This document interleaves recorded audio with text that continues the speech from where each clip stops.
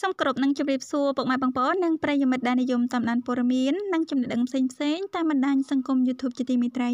ខណៈពេលនេះផងដែរនាងខ្ញុំសូមលើកយកនៅអត្ថបទព័ត៌មានថ្មីមួយទៀតហើយចាមកជម្រាបជូនពុកម៉ែបងប្អូននិងប្រិយមិត្តបានស្ដាប់និងទស្សនាកំសាន្តផងដែរតាមរយៈអត្ថបទថ្មីនេះគឺមានចំណងជើងថាមួយឈុតនេះធ្វើឲ្យអឹងនិមលកាន់តែស្រស់ស្អាតលេចធ្លោដោយតារាបរទេស ចាសម្រាប់អត្ថបទនេះមានអត្ថន័យខ្លឹមសារបន្តយ៉ាងណាទៀតសូមពុកម៉ែបងប្អូននិងប្រិយមិត្តតាមដានស្ដាប់និងទស្សនានៅអត្ថបទព័ត៌មាននេះបន្តទៀតផងដែរភ្នំពេញជឿជាក់ថាប្រិយមិត្តច្បាស់ជាបានស្គាល់អឹងនិមលដែលនាងជាតារាសម្ដែងស្រីមានប្រជាប្រិយភាពមិនតែប៉ុណ្ណោះរូបសម្រស់របស់នាងក៏ស្រស់ស្អាតផងដែរ យ៉ាងណាមិញនាងកាន់តែមានភាពមមាញឹកជាមួយនឹងការងារសិល្បៈដោយមានមហាជនក៏ដូចជា friend friend របស់នាងផ្ទាល់បានធ្វើការស្រឡាញ់និងគ្រប់គ្រងនាង តែបើងាកមកមើលពីរូបសម្រស់ពេលបច្ចុប្បន្ននេះវិញតារាស្រីមានរាងស្លីមរូបនេះកាន់តែមានភាពលេចធ្លោនិងស្រស់ស្អាតជាងមុន ក្រោយជោគជ័យលើវិថីសិល្បៈ ជាក់ស្ដែងយើងនឹងដឹងហើយថា នាងជាតារាសម្ដែងនិងតារាម៉ូដែលមានរូបរាងស្អាត តែបើមើលពីរូបភាពចាស់ប៉ុន្មានសន្លឹករបស់នាង នៅក្នុងឈុតពណ៌សវិញ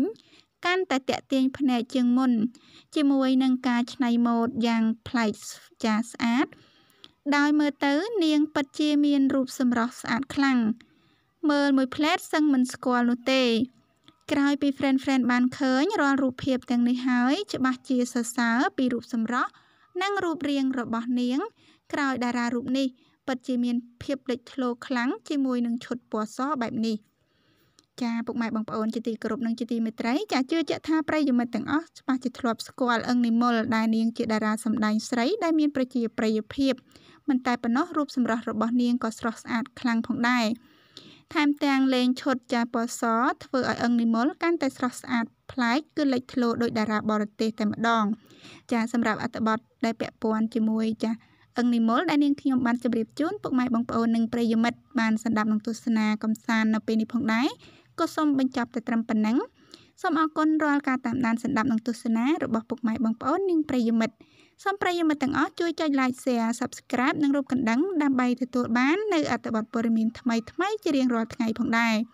ចាសសូមអរគុណសូមគោរពលា